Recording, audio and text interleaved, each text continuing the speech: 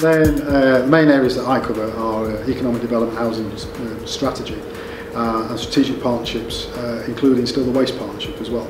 So basically, I, I get um, sort of an oversight of, of most things that happen in, in the council, uh, and a lot of my work actually involves partnerships outside of council, which are important for, for not just this authority but the entire area. I was really pleased to see um, the Central Lincolnshire Local Plan adopted.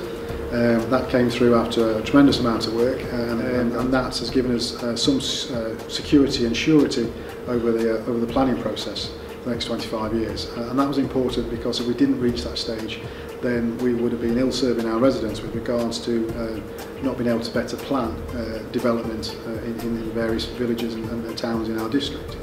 We've, we've got a, a very good economy in North Kesteven, one of which we, we're helping to drive. We, we offer a lot of advice out there. we work very closely with uh, businesses as, as we see businesses as a lifeblood of, of our economy.